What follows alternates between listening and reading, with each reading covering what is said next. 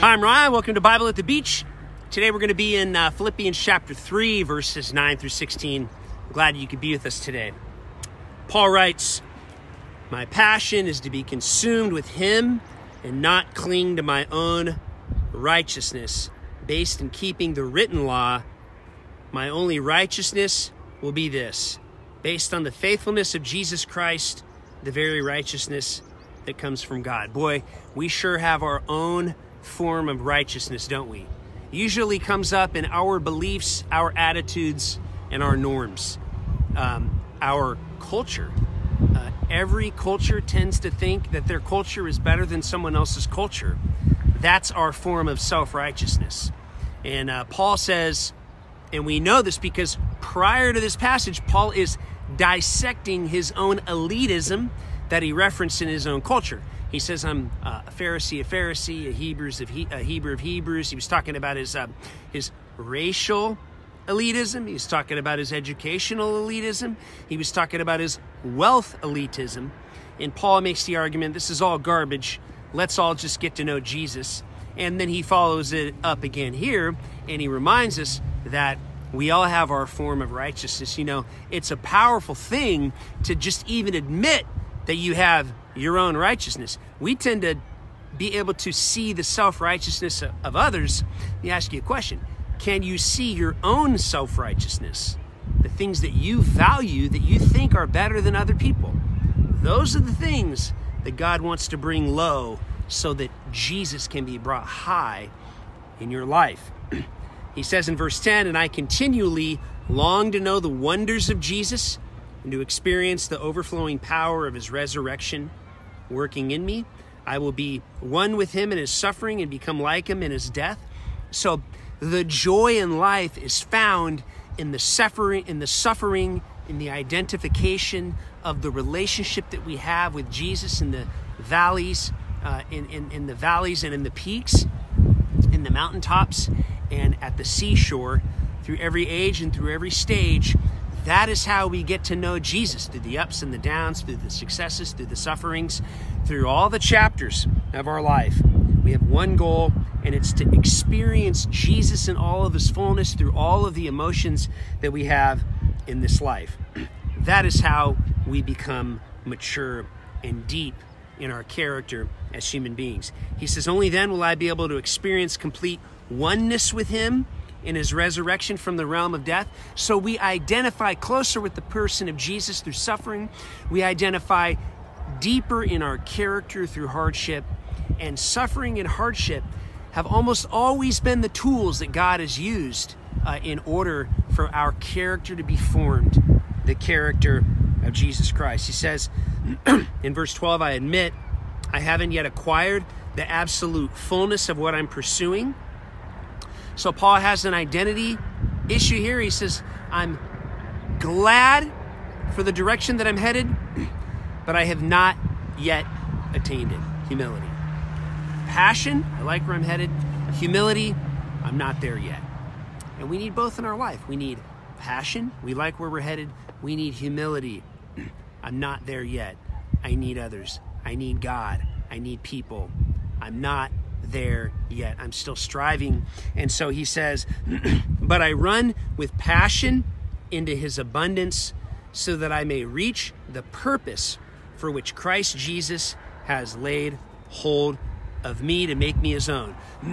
now, listen, God has a specific race for your life. And it's our job as followers of Jesus to find out the job that God has for us.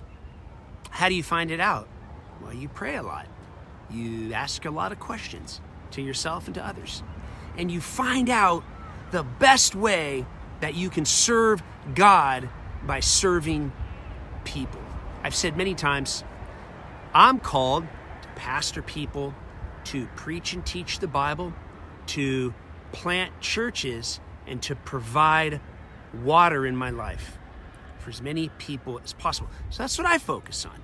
And I pray every day now, God, help me to do what you've asked me to do the best that I can.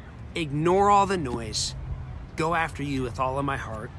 That's what gets me up every single day. Paul says, I don't depend on my own strength to accomplish this. However, I do have one compelling focus. I forget all of the past and I fasten my heart to the future. Well, I don't know about you, but I sure have things in my life that I would just as soon forget. There is much of my life that I wish I could get back, time wasted. Well, it's all in the rear view now. And the only vision that I have in my life is the vision to move forward and to do the best that I can for Jesus with the time that I have left, all of my influence, all of my effort, and all of my energy. And so that's my heart. I hope your heart is to maximize your life for Jesus Christ for the greatest impact, regardless of whatever Jesus has asked you to do. There are no great assignments in the kingdom of God. That's a lie. The word legacy, that's a lie. That's a lie. All assignments from Jesus are of equal value, regardless of our perception of them. There are no super assignments, there are no super saints, and there are no super believers.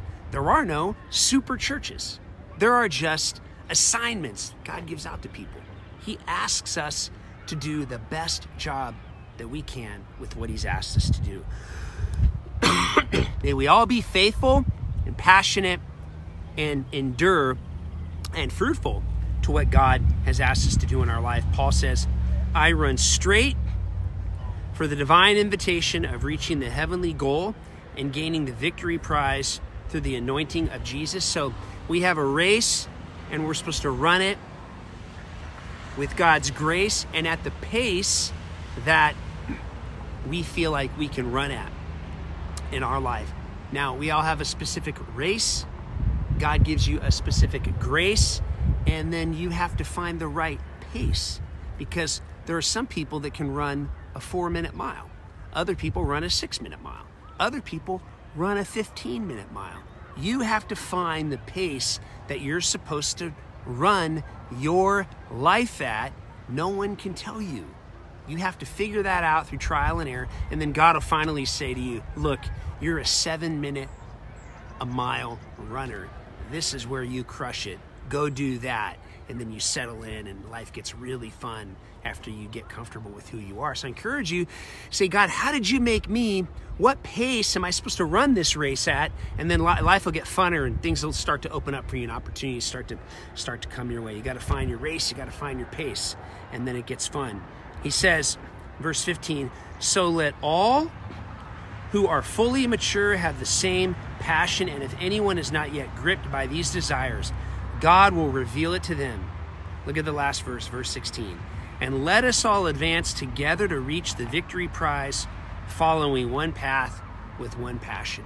The vision of every believer is Jesus. The vision of every church is Jesus. The vision of every ministry is Jesus. May we have Him as our vision, and may we serve Him well, and may we serve Him faithfully. Now, in all things, I always pray, God, thank you for your word today. Give me the eyes to see today, give me the ears to hear, give me the heart to feel. And until next time, thanks for joining me at Bible on the Beach. See you next time. If you'd like more information about Ocean Water Church, how to join us on an upcoming trip, how to be part of one of our clean water projects, how to financially support our movement, or even information on how you can start an ocean water church yourself, please look us up at oceanwater.com.